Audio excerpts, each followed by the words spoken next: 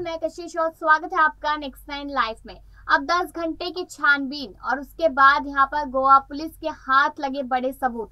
उसमें से एक बड़ी जानकारी ये सामने आई है कि सोनाली फुगाट को पहली ड्रग्स की डोज कब दी गई थी। सबसे बड़ा खुलासा ये होता नज़र आया। है बता दें कि 23 तारीख को ही उन्हें वहाँ पर जाकर सबसे पहले डोज दी गई, जिसका खुलासा वही के स्टाफ दत्ता प्रसाद ने किया है।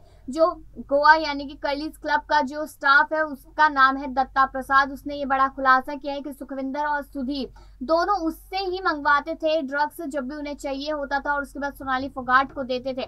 अब सोनाली फोगाट को जो वो ड्रग्स दिए जा रहे थे, जो वो वीडियो लगातार वायरल हो रहा था, जिसमें सोनाली फोगाट के साथ ज़बरदस्ती यहाँ सुधीर सांगवान, नशीला पदार्थ पिलाते नज़र आ रहे थे तो ये सारा नशीला पदार्थ दत्ता प्रसाद ने ही उन तक पहुँचाया था। इस बात का खुलासा उसने खुद किया है।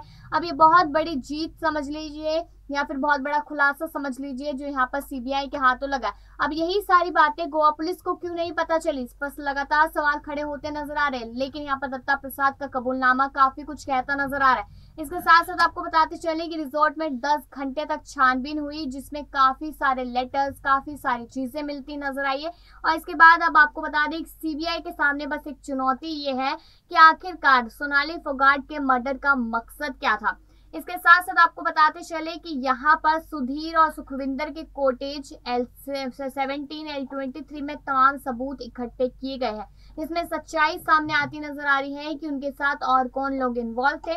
बस आखिरी में यही कहना चाहेंगे कि जैसे ही थोड़ी सी भी भनक पड़ती है सीबीआई को कि आखिरकार सोनाली फोगाट के मर्डर का मकसद क्या था तो सीबीआई किसी को भी नहीं छोड़ने वाली।